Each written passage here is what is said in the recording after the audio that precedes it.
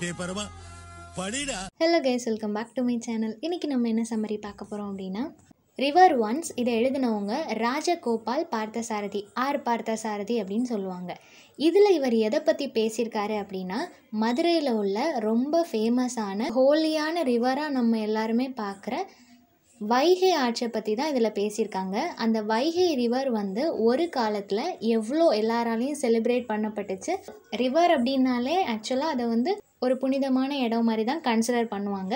அந்த மாதிரி புனிதமாக இருந்த இடம் இப்போது ஜஸ்ட் அது வந்து ஒரு நேம்க்கு தான் அது ஆறு அப்படின்னு நம்ம சொல்கிறோமே தவிர ஆக்சுவலாக அது ஒரு ஆறு மாதிரி இல்லை ஒரு சாக்கடையாக மாறிடுச்சு அப்படின்றத இதில் இவர் வருத்தத்தோட இதில் நரேட் பண்ணியிருப்பாரு இந்த போமில் அந்த ரிவரே நான் இவ்வளோலாம் சஃபர் ஆகிறேன் இந்த மாதிரிலாம் மக்கள் எனக்கு எதிராக பண்ணுறாங்க ஆறாக அழகாக இருந்தேன்னா இப்போ ஒரு சாக்கடை மாதிரி நான் மாறிட்டேன். இல்லை இந்த மக்கள் மாற்றிட்டாங்க அப்படின்னு சொல்லிட்டு அந்த ரிவரே நம்மக்கிட்ட பேசுகிற மாதிரி இந்த போமை அவர் எழுதியிருப்பாரு. இது ரொம்ப ஒரு சிம்பிளான ஒரு போம் தான். இந்த ரிவரோட கண்டிஷனை நினச்சி ரொம்ப ஃபீல் பண்ணுறாரு ஏன்னா ஒரு காலத்தில் அதை வந்து ரொம்ப க்ளோரிஃபை பண்ணிட்டு இருந்தோம். ஆனால் இப்போ அந்த மாதிரி பண்ண முடியல. பண்ணுற அளவுக்கு அந்த ஆறு இல்லை. ஸோ ஃபர்ஸ்ட் எப்படி போம் ஸ்டார்ட் பண்ணுறாரு அப்படின்னா சின்ன பிள்ளைங்க எல்லாருமே அந்த ஆத்தங்கரையில் படகு விட்டு விளாண்டுட்டு இருக்கிறாங்களாம் ஒரு காலத்தில் ரொம்ப ஸ்பீடாக அங்கே தண்ணி வந்துட்டு இருக்கும்போது யாரையுமே அங்கே அலோவ் பண்ண மாட்டாங்க. ஏன்னா ஸ்பீடாக தண்ணி வந்துட்டு இருக்கும்போது குழந்தைங்க விளையாண்டுட்டு இருந்தாங்கன்னா கண்டிப்பாக அதில் உள்ளே விழுந்துருவாங்க. அவங்களுக்கு ஏதாவது ஆயிரும் அப்படின்னு சொல்லிட்டு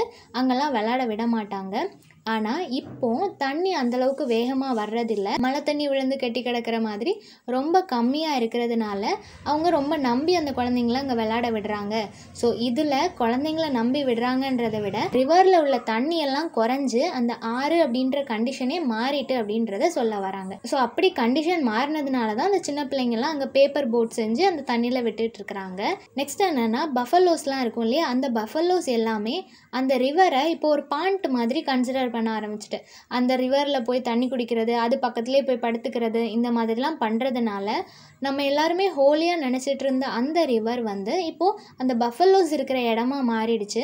அந்த பஃபல்லோஸ் அதை ஒரு பாயிண்ட் மாதிரி நினச்சிக்கிச்சு. ஒரு ரிவராக இருந்திருந்தா அதில் போய் இதால் ஸ்டே பண்ண முடியாது. அந்த ரிவரில் போய் இதால் படுத்துக்க முடியாது.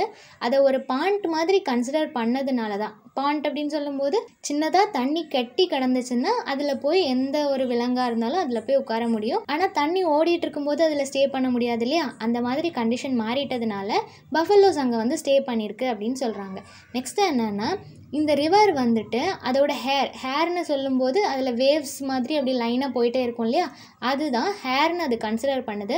அந்த ஹேரில் ரொம்ப அழகான ஃப்ளார்ஸை போடாமல் ட்ரையான ஃப்ளார்ஸ் எல்லாத்தையும் தூக்கி போடுறாங்க அப்படின்னு சொல்கிறாங்க இப்போ கல்யாண வீட்டில் யூஸ் பண்ண அந்த ஃப்ளார்ஸாக இருக்கட்டும் இல்லை மாலையாக இருக்கட்டும் எல்லாத்தையும் கொண்டு ஆற்றுல போடணும் அப்படின்னு சொல்லிட்டு எல்லாத்தையுமே கொண்டு அங்கே போடுறாங்க. இவங்க நல்ல காரியத்துக்கு யூஸ் பண்ண திங்ஸை வந்து குப்பையில் போடக்கூடாதுன்னு சொல்லி ஒரு ஹோலியாக பார்க்கப்படுற ஆறை வந்து இவங்க ஒரு குப்பை தொட்டி மாதிரி மாற்றிட்டு இருக்கிறாங்க. நெக்ஸ்ட் என்ன சொல்கிறாங்கன்னா இந்த ஆறுக்கே ஒரு ஃபோர் ஹெட் மாதிரி ஒரு நெத்தி மாதிரி இருக்கு. இருக்கிற டெம்பிள் அந்த டெம்பிளில் பெல் அடிக்கும்போது இந்த ஆறு வந்து சைடில் பார்க்குதான் அப்படி பார்க்கும்போது அந்த ஆத்தங்கரையில் மக்கள் எல்லாருமே அதை ஒரு டாய்லெட் மாதிரி யூஸ் பண்ணிகிட்ருக்குறாங்க இருக்கிறாங்க அப்படின்னு சொல்கிறாங்க அது மட்டும் இல்லாமல் கோயிலில் யூஸ் பண்ணுற ஃப்ளார்ஸாக இருக்கட்டும் அங்கே யூஸ் பண்ணுற வேஸ்ட்டை கூட இந்த ரிவரில் தான் கொண்டு போட்டுட்டு இருக்கிறாங்க கிங் ஃபிஷர் மற்ற சின்ன பேர்ட்ஸ் எல்லாமே முன்னாடி இந்த ஆறு வந்து நல்லா செழிப்பாக தண்ணி ஓடிட்டு இருக்கும்போது இதில் நிறைய மீன்லாம் இருந்திருக்கும் இல்லையா? அந்த மீனெல்லாம் பிடிக்கிறதுக்காக வந்துட்டு இருந்திருக்கு ஆனால் இப்போ வந்து அந்த தண்ணி எப்படி ஆயிடுச்சுன்னா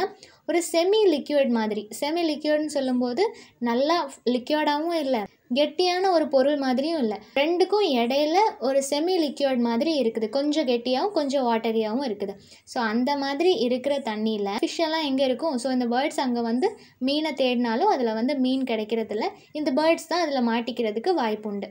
ஒரு காலத்தில் எம்பரர்ஸாக இருக்கட்டும் பெரிய பெரிய போயட்ஸ் நிறைய கவிஞர்கள் நிறைய அரசர்கள் சிற்றரசர்கள்னு சொல்லி எல்லாருமே வைகை ஆட்சியோட மடியில் தான் அவங்க எல்லாருமே தூங்கினதா அது ஒரு பொயட்டிக்காக சொல்லியிருக்காங்க.